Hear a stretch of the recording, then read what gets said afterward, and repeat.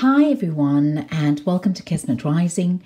I am sorry that I couldn't come to you last week with your weekly oracle guidance, and uh, this week's a little bit late, but I thought I would get it out there.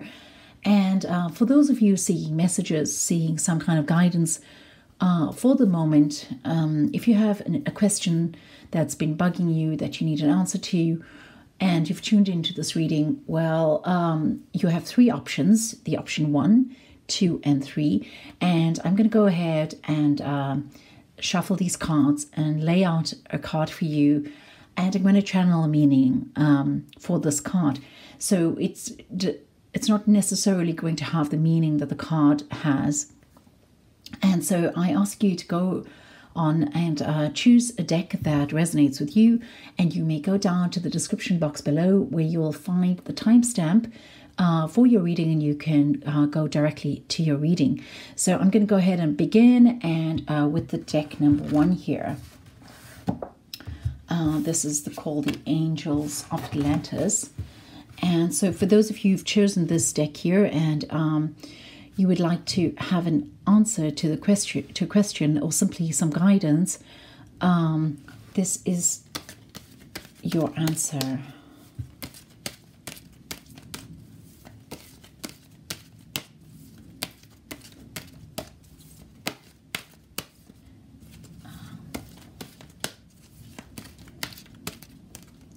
Okay, so it feels, I'm still trying to feel what's right here. For those of you who've chosen the deck number one.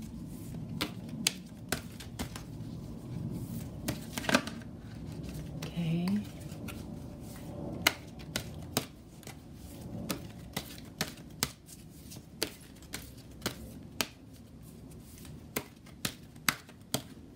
Okay, there we are. So that took a little longer than usual. Um, but we have the, the, the here, and it says, I am presence. Uh, that's the caption.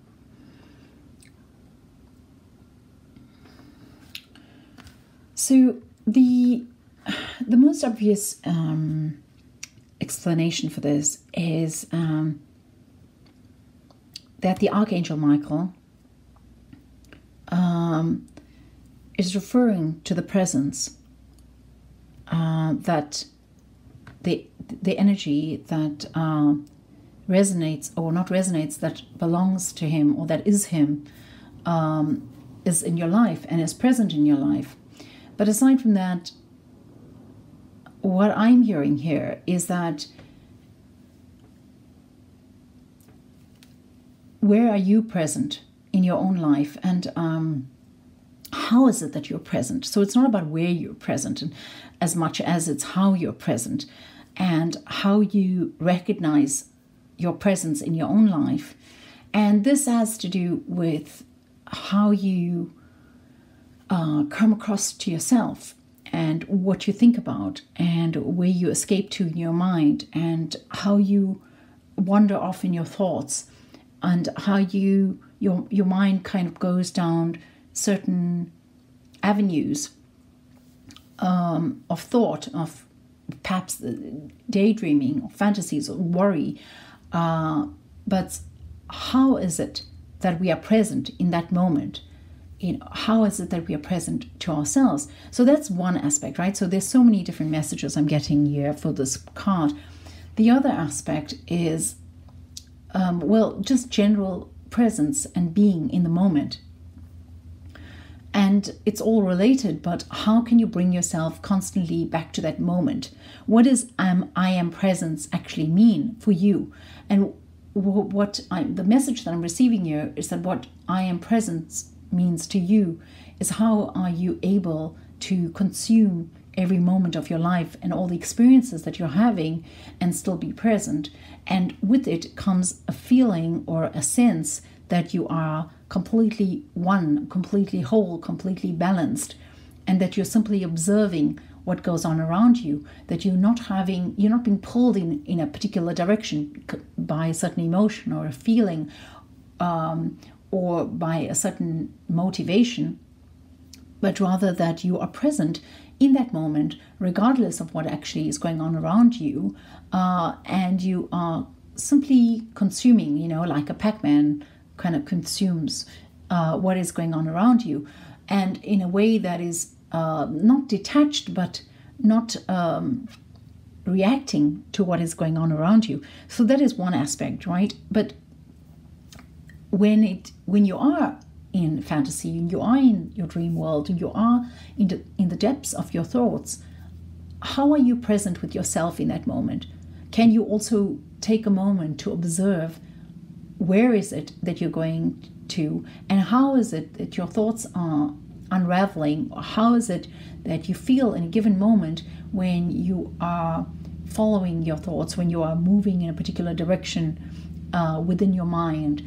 Uh, can you be present with yourself in that moment as well? Because with that will come certain revelations uh, as to your own motivations or deeper motivations or other subconscious um, kind of motivations or tanglements that you haven't actually allowed yourself to see or you haven't had the opportunity to see as yet. Um, so the, that is the two ways, right? So in your mind and in the moment as it as you are in your life. And the other message that I'm hearing here is how are you actually present in in uh, in regard to others? So how are you present with regard in your relationships?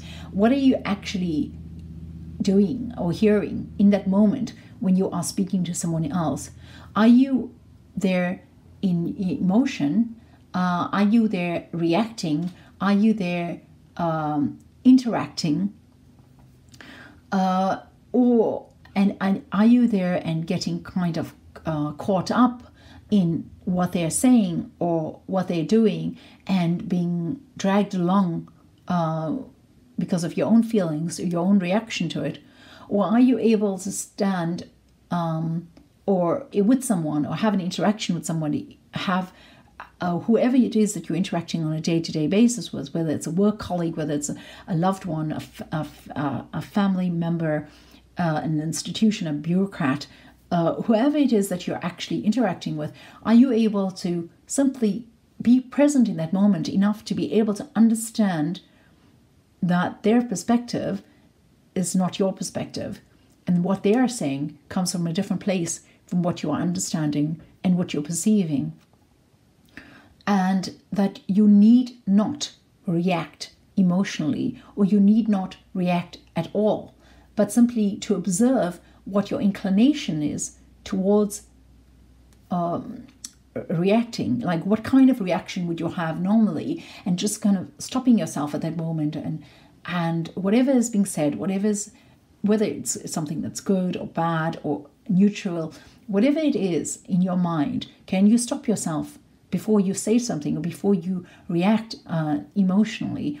And just observe that moment that you were about to react, or what kind of reaction you are about to have, because there is a kind of presence that you are advised to have within yourself right now. This is a kind of there's a sense that that when you are able to control your your your, your thoughts or have um, it's not so much about controlling it it's more it's more about being present in in your thoughts and being a viewer or, or an observer in your own mind that you are able to truly be present in the world in another way. And, and, and that is the way in which you are being asked to be present at this moment. So I don't know if that sounds confusing or whether I've articulated that um, well enough, but basically, uh, it's about finding levels of being present with yourself in your own thoughts and with others uh, in a way that allows you to have a new uh, a newer perspective or a different perspective or, or a different interaction uh, with the world. Like how do you place yourself in this world and how do you place yourself within yourself and how can you do so in a, in a way that is the most present? So um, so I feel that this message has less to do with the Archangel Michael or um, or the presence that um, he uh, has in this world or the the the, the collective consciousness has in this world uh, has you know the idea of him in this world. So i think it has less to do with with our idea of what archangel michael is and what and what our idea of his presence is in this world but more to do with your own idea of your own not idea but your own presence in yourself okay? So i hope i haven't confused you there and um, yeah so give that some thought and see how it it's relevant to you and see how that might actually influence the way in which you behave um, or react within with given situations in the in the days ahead or with the situation that you're dealing with at this moment. So I thank you for those of you who've come by and chosen um, this deck here, the Angels of Atlantis. And I'm moving on now to the next deck, uh, which uh, here these are cloak cards. They're not actually oracle cards. Well, but I'm using them as oracle cards. So, for those of you who've chosen this option here, what is it that you need to hear at this moment? What is it that what what is your answer? What is the answer that you've come here for at this moment?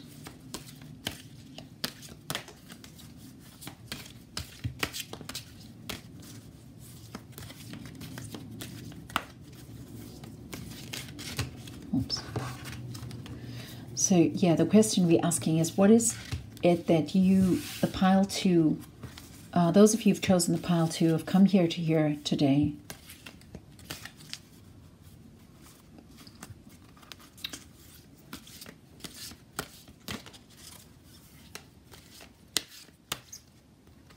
Okay, thought I had something there, but it doesn't feel ready.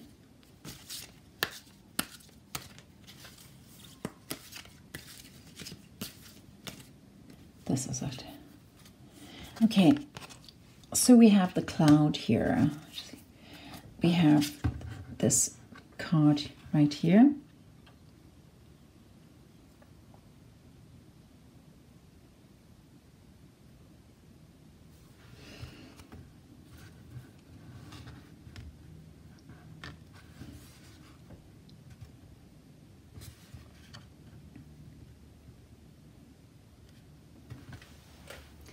So, what I'm hearing here is that this particular card has to talk about things that you cannot see right now or trying to understand something that is not really available at this moment for you to see clearly. So it's as if the situation that you're dealing that you're dealing with right now has actually um, it doesn't have an answer at, at this moment in this space and time you do not have the answer that you require. You it is not it is not available to you. And it's as if you you are sitting in a cloud and you cannot see further you cannot understand. And you what you need to do in this situation is that you need to give it time for it to clear up. What i'm hearing here is that this is not within your um, your gambit. It's not within your reach. The, the truth or the answer, the reality, the, the, the clarity is not within your reach right now. There's nothing that you can actually do at this moment to be able to, to, to gain that, to be able to claim that, uh, to be able to understand what it is that you are seeking to understand. And that it's, you simply need to, to accept that and surrender to the, the situation that you're in at this moment.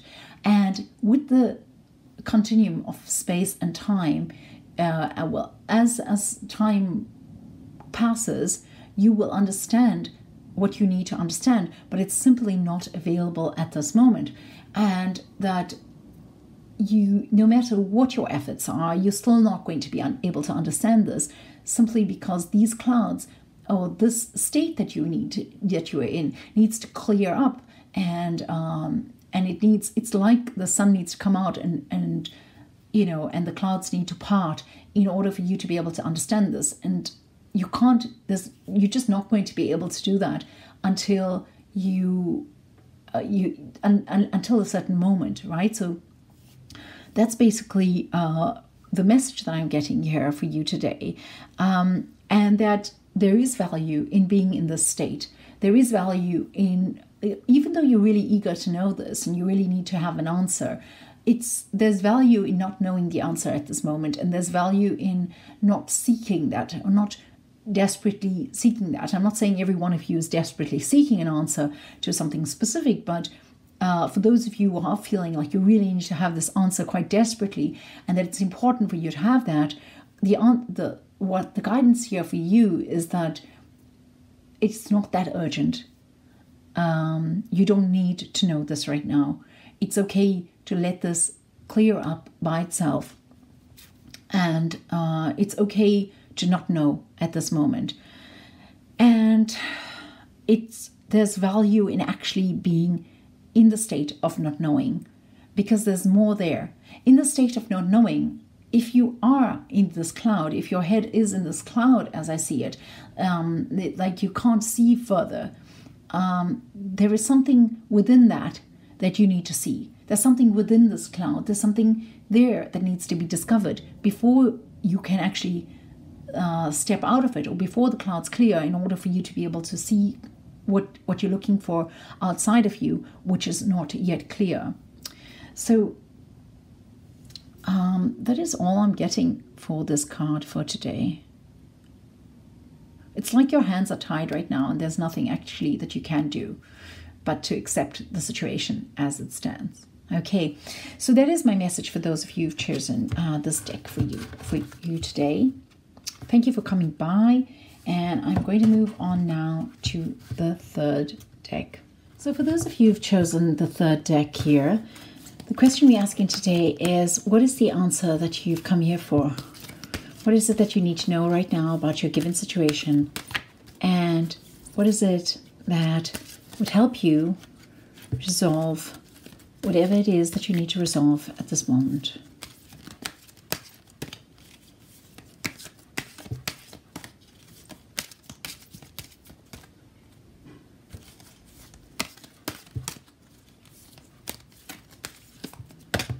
Okay, there's a bunch of cards that flow off you.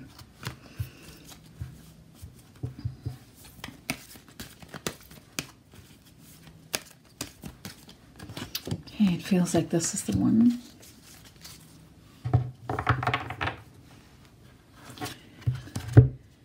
Um, so this card is called Princess Charming. It's the number 39. It says, I take the horse by the reins and become my own Princess Charming, taking care of my own needs. So this card for me speaks about the empowerment that you need to give yourself at this at this moment. It's to me, it's it's telling me that it's time to take charge of your your own needs and to be able to give yourself the love that you need, to be able to give yourself what you've been waiting for another to give you, to be able to give yourself that recognition, that acknowledgement, uh, that appreciation that you've been hoping to receive from another person or another uh, something outside of you like an institution it says that it's time for you to actually uh, stop waiting for that to come from the outside because what you're waiting from for uh, to come from the outside is never going to be packaged the way that you are hoping to receive it but rather it's going to come in its own package and it's not it's going to be similar or it's going to be on some occasions not at all what you want but it, it's not going to be exactly what you need. And in order to give yourself what you need in order to have what you need what uh, to to to actually experience what exactly what it is that you need you need to give you need to be the one who gives yourself that. And it also talks about for me it also talks about n- not waiting any longer. Uh, have you put your life on hold? Have you put your life on pause? And you are waiting for that person to come into your life or a particular moment when you have X, Y, and Z for you to actually start living?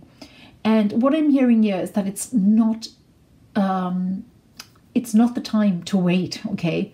It's the time to actually take charge and to make it happen.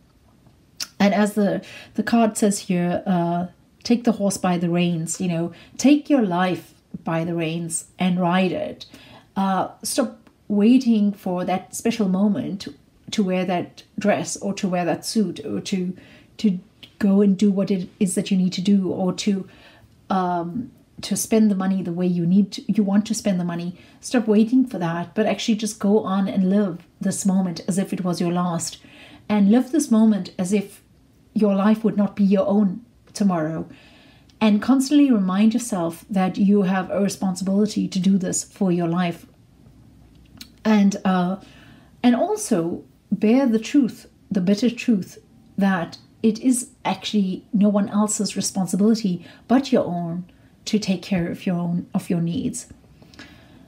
Um, so that is actually what I'm hearing right now with regard to this card. Um, uh, this is another more specific message for perhaps one uh, or more person that's listening to this. But if you've been feeling disillusioned uh, by life or by yourself or tired, uh, exhausted, not not able to go on, not able to actually find your path uh, or not really able to take the horse by the reins because you just don't believe you can or you don't know how to anymore.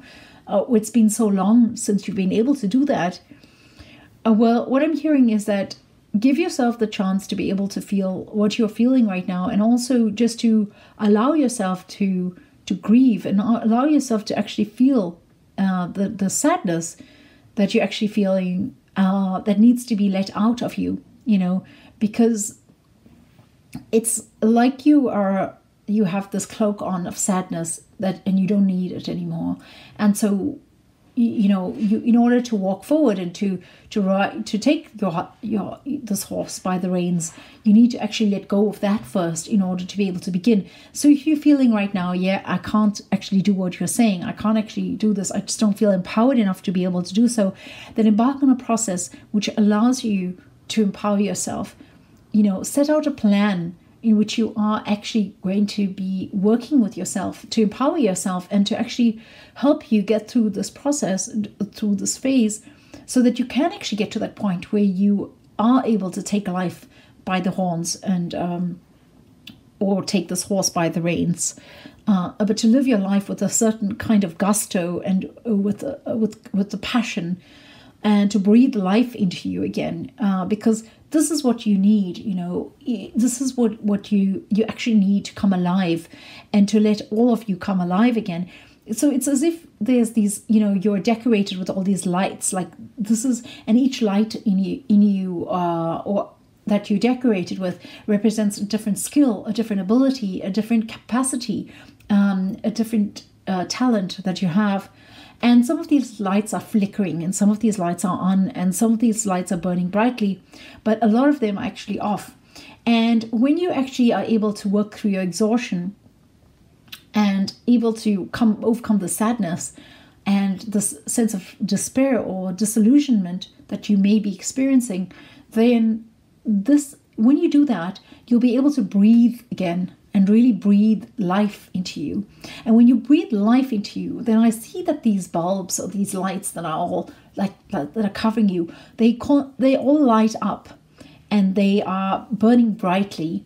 And this is actually where you need to get to to this point at which you're burning brightly and that you're able to actually function in this world with uh, with your full capacity you know function here and be here and live uh, an experience uh, with 100% and not just uh, a, a, part of you and not because you're tired or because you're feeling chipped away by uh, certain experiences that you've had, but actually just fully surrendering to this life that you have here.